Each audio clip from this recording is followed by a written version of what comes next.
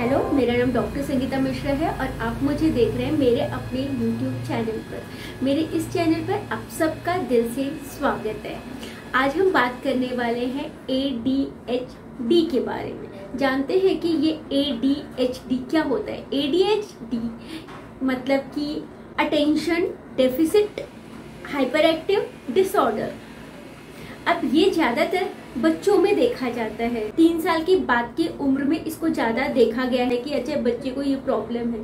जब बच्चा स्कूल में जाने लगता है मतलब प्री स्कूलिंग उसका चालू होता है तो टीचर्स को पता चलता है कि ये बच्चे को एडीएचडी का प्रॉब्लम है। ए डी में क्या होता है? एडीएचडी में मतलब जो आपका ब्रेन का जो डेवलपमेंट होता है वो कहीं ना कहीं अफेक्टेड होता है कहीं ना कहीं डिस्टर्ब होता है जिसकी वजह से बच्चे के अंदर आ, जो उसका जो अटेंशन करने की जो एबिलिटी है, खुद पे ऊपर कंट्रोल है, वो कहीं ना कहीं डिस्टर्ब हो जाता है।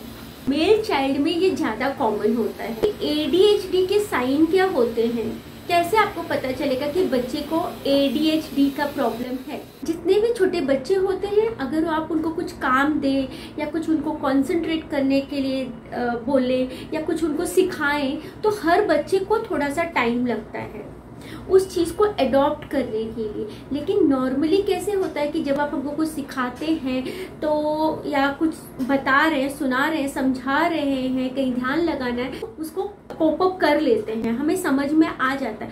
पर ये बच्चों का क्या होता है? ये बच्चे उस पर ध्यान नहीं देते हैं। ये अपनी ही दुनिया में रहते हैं, अपने ही वर्ल्ड में रहते हैं।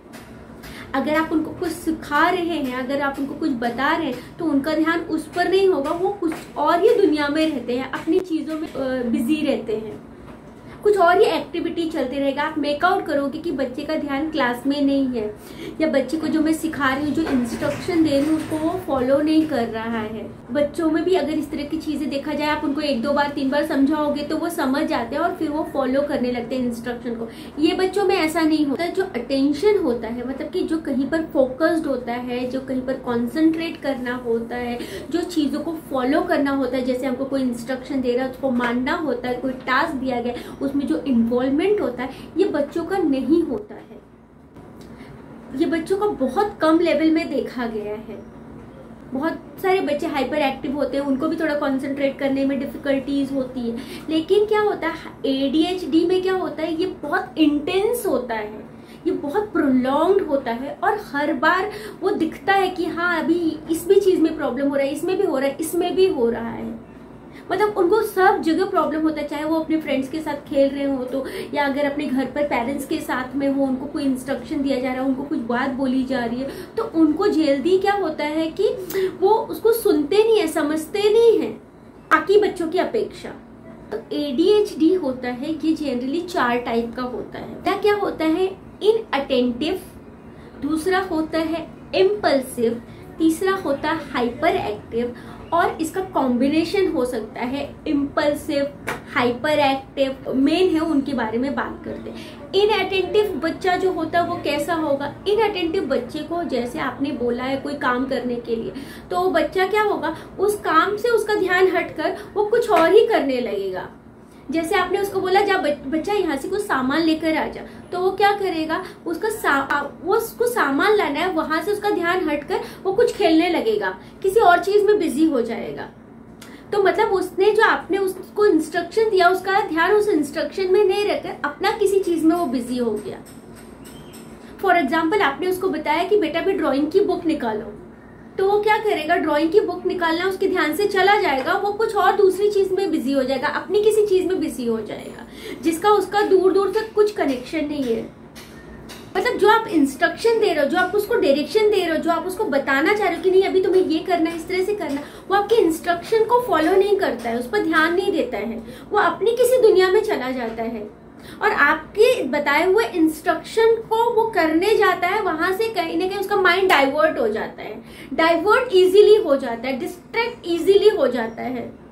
और जैसे मैंने आपको बताया कि वो डिस्ट्रैक्ट इजीली हो जाता है तो वो एक तो आपकी बात पर, आपके, आपको ऐसा लगेगा मेरी बात को उसने सुना भी नहीं। ध्यान ही नहीं दिया उसने। कॉन्सेंट्रेशन नहीं होता उसका फोकस नहीं होता है। अभी जैसे दस बच्चे हैं, दस बच्चों में से आपने उनको इंस्ट्रक्शन दिया कि आपको ये ये चीज़ें करना है, या आपने उनको कुछ टास्क दिया कि तुम्हें ये काम करना तो वो बच्चे बराबर से करेंगे बट ये बच्चा क्या होगा, ये नहीं करेगा इसका माइंड कहीं और चला जाएगा। जो मेन काम है मेन काम से हटकर ये कुछ और करने लगेगा डिस्ट्रैक्ट हो जाता है फोकस नहीं करेगा वो। और वो क्या होता है ना, कई बार ये जो बच्चे होते हैं डे ड्रीमिंग करते रहते हैं, अपने ख्यालों में खोए रहते हैं। उनको बाकी चीज़ों से मतलब नहीं होता है। अपने अकेले गुमसुम बैठे रहेंगे, उसमें कुछ करते रहेंगे।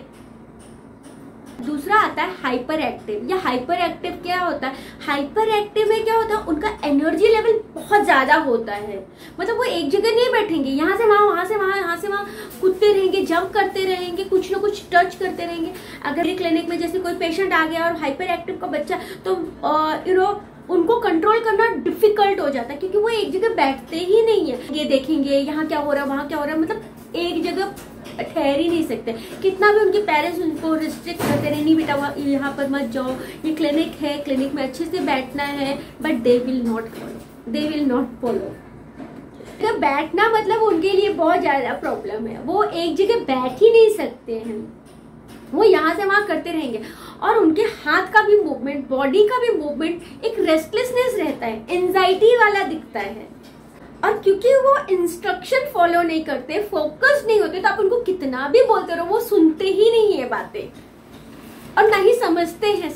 और इम्पल्सिव चाइल्ड कैसा होता है?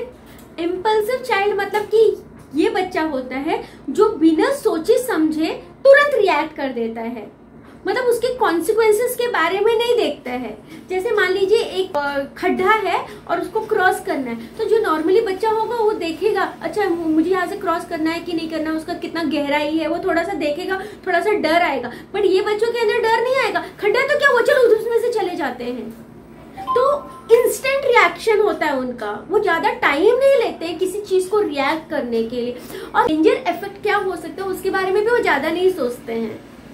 बस उनके माइंड में आया और तुरंत वो कर देते हैं। जैसे उनको कुछ चीज़ करना है तो आपके परमिशन का वेट नहीं करेंगे कि अच्छा मुझे मम्मा मुझे परमिशन देगी तो मैं करूँ मुझे टीचर परमिशन देगी तो।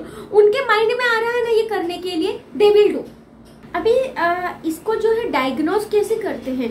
डाय से चलेगा? पेशेंट के अंदर एडीएचडी है या नहीं है? जो पेरेंट्स होते हैं अगर वो बहुत थोड़ा अपने बच्चों पर ध्यान देते तो उनको भी पता चल जाएगा कि ये बच्चे में इस तरह की प्रॉब्लम आ रही है। जनरली क्या होता है कि जब बच्चा स्कूल जाना चालू करता है ना नर्सरी वगैरह में तो वहाँ पर ये चीज़ें ज़्यादा पिक होती है। क्योंकि जब टीचर्स इंस्ट्रक्शन देते हैं, बच्चे उसको फॉलो नहीं करते हैं या अपनी ही धुन में रहते हैं लर्निंग उनकी कहीं ना कहीं अफेक्ट होने लगती है। फिर वो पेरेंट्स को बुलाते हैं कि आपके बच्चे के अंदर ये प्रॉब्लम दिख रही है। तो इस तरह से उसका डिटेक्ट होता है।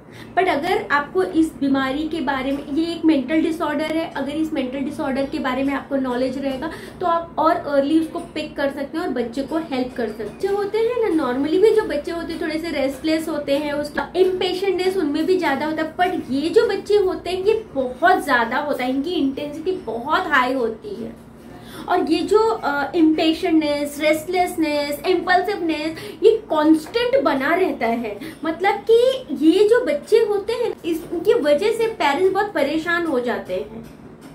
रिलेटिव्स परेशान हो जाते हैं, क्योंकि ये किसी की सुनते ही नहीं है। जो इम्पल्सिव बच्चे की मैं बात कर रही हूँ, या जो रेस्टलेसनेस वाले बच्चे होते हैं, जो इनअटेंटिव होते हैं, वो तो सिर्फ़ अपने आप में ही रहते हैं। उनको बाकी चीज़ों की पड़ी ही नहीं रहती है। आप उनको कुछ बोल रहे हैं, नहीं बोल रहे हैं, वो बराबर से सुनेंगे भी नहीं, करेंगे भी नहीं।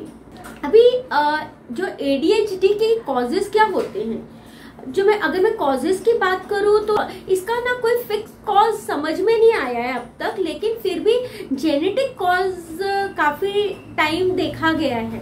दूसरा होता है कि ड्यूरिंग प्रेगनेंसी मम्मी का जो मदर का स्टेट होता है वो कैसा होता? है उसने अगर कुछ मेडिसिन वगैरह लिया हो जैसे आ, अबॉर्शन वगैरह के लिए उसने कुछ मेडिसिन लिया हो या कोई और मेडिसिन ली हो जिसके बैड इफ़ेक्ट की वजह से बच्चों के अंदर इस तरह के चेंजेस आए हैं? फिर होता है कि जैसे मदर को स्मोकिंग की हैबिट हो अल्कोहल वगैरह कंज्यूम कर रही है तो भी इस तरह के यू नो हिस्ट्री देखी गई है। तो एनवायरनमेंट में मैं टॉक्सिसिटी की बात कर रही हूँ। जैसे बहुत सारी टॉक्सिक गैसेस होती है पॉइजनस गैसेस होती हैं। बहुत सारे, जैसे लेड वगैरह लेड पॉइजनिंग की वजह से पॉल्यूशन को जब हम एक्सपोज करते हैं तो जैसे रोड पर जो जाते हैं, जो गाड़ियाँ बहुत सारे निकलती है, वो सारी कहीं ना कहीं बच्चे के ऊपर इफ़ेक्ट करती है। ड्यूरिंग ड्यूरिंग प्रेगनेंसी अगर उस चीज़ को एक्सपोज हुआ हो ज़्यादा तो कहीं ना कहीं अफेक्ट करती है। Thank you so much for watching अगर आपको मेरा वीडियो अच्छा लगा है तो मेरे चैनल को लाइक और सब्सक्राइब कीजिए।